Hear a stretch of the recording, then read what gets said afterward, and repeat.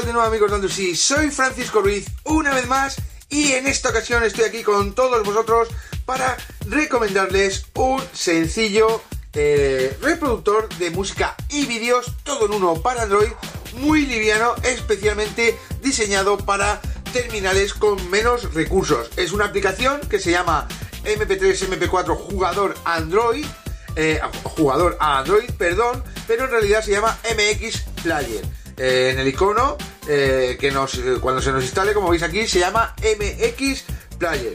Lo dicho, es una aplicación bastante liviana, ya que si entramos aquí a más información, vais a ver cómo tan solo, vamos hacia abajo del todo, tan solo pesa 13,57 megas y eh, es válido para Android 3.0 o superior, o sea, a partir de KitKat en adelante y está especialmente orientado para desde un solo reproductor de música y vídeo, pues controlar lo que nosotros visualizamos, tanto la música como los vídeos.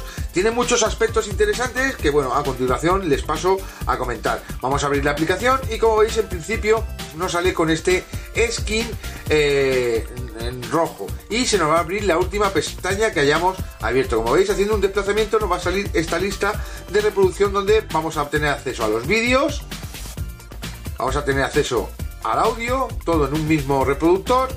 El audio va a estar en canciones, artistas, álbumes y géneros. Volvemos a hacer el desplazamiento, acceso a las carpetas, como veis yo tengo aquí memoria interna y SDK1.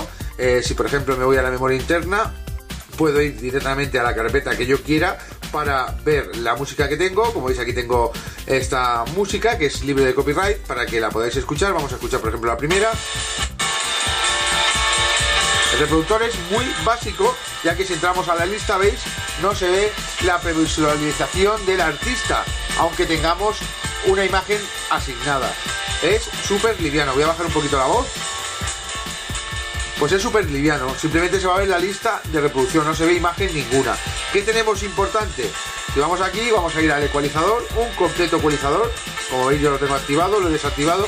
Donde tenemos todos estos estilos: reggae, pop, party, live, eh, soft rock, soft techno, el que queramos. Simplemente lo vamos a habilitar clicando en este botoncito. Vamos a ir de nuevo para atrás. Seguimos en la lista de reproducción que como veis no cuenta con imagen ninguna. Y aquí abajo tenemos un botoncito para poner en aleatorio, reproducción continua, etcétera, etcétera. Simplemente clicando en él. Ahora estaría en reproducción continua. Ahora estaría en aleatorio. Y ahora repetir la canción. Lo volvemos a dejar normal. Voy a darle al pause. Y bueno, lo dicho. Ahora volvemos hacia atrás hacemos el desplazamiento y nos vamos, por ejemplo, a los vídeos. Y nos van a mostrar los vídeos que tenemos almacenado. Voy a poner este, por ejemplo. Y como veis, podemos visionar en una misma aplicación, tanto escuchar música como ver vídeos. Tenemos la opción de eh, sweep. Por ejemplo, si hacemos doble toque y subimos o bajamos, vamos a subir o bajar el volumen. Ahora tengo a tope y ahora lo bajo simplemente swipeando sin tener que tocar ningún botón. Y en el otro lado pues eh, de la misma manera para el brillo. Vamos a darle hacia abajo brillo mínimo. Y si subimos pues ponemos el brillo al máximo. Eh, vamos a salir. Vuelve el brillo a la normalidad. Aunque hayamos puesto brillo al máximo va a ser solo para la reproducción. Eh, después vuelve al brillo por defecto que tengamos en nuestro terminal. Como veis el modo landscape va muy bien y lo dicho, tenemos también acceso al historial para ver lo último que hemos reproducido. Por ejemplo, vamos a irnos a esta canción. Y lo dicho, lo vamos a poner de nuevo en modo portrait. Lo dicho, aunque tengamos previsualización de la carpeta, o sea, del artista, no se nos va a mostrar ya que es una aplicación muy liviana.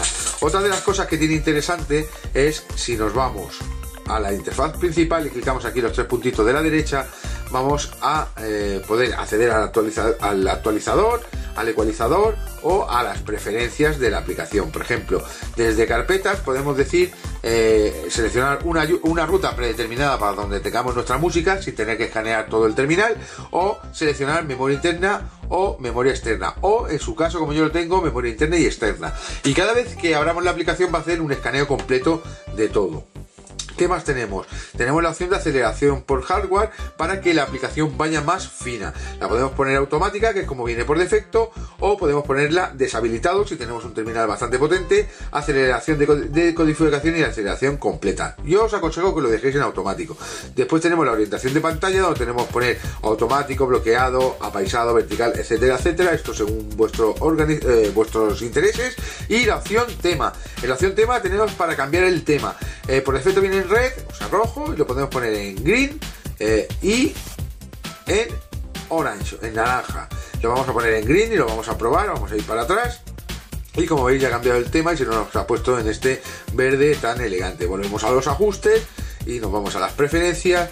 Y si vamos al tema vamos a probar por último el tema naranja. Y como veis un tema naranja eh, para ir variando eh, de estilo de reproductor. Ya os digo, es un reproductor muy liviano, especialmente diseñado para terminales que carecen de recursos o que tienen pocos recursos y que bueno, la verdad también podemos elegir el lenguaje, como podéis ver aquí, está en español, perfecto, en inglés y en varios idiomas y bueno, tenemos también opción para la codificación de los subtítulos eh, y después preferencias extras que estas son ya más más técnicas donde podemos controlar la interfaz, el rendimiento o eh, opciones avanzadas. Lo dicho, si queréis, si estáis buscando un reproductor de música eh, que sea liviano y sea muy funcional, que nos permita ver vídeos y nos permita escuchar música, sin duda alguna esta es una muy buena opción MX Explorer que podéis descargar directamente desde el Play Store de Google.